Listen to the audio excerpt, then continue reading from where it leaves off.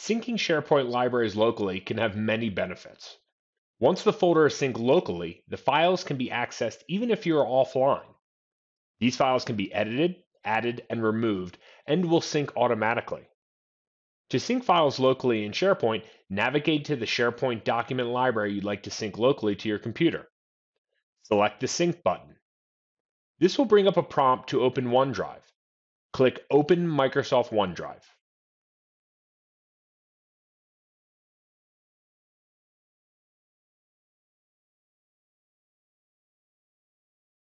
If you have never synced that folder before, it will automatically sync to your OneDrive and you will see a similar notification on your computer.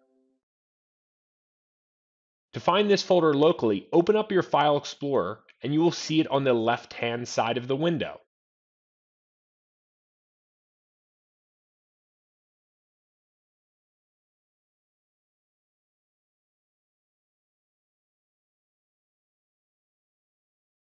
If you ever need to unsync a library, within the File Explorer Local Sync, right-click on the folder you'd like to unsync and select Settings.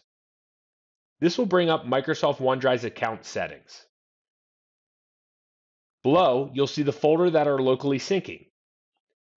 Click Stop Sync next to the folder you would like to no longer locally sync.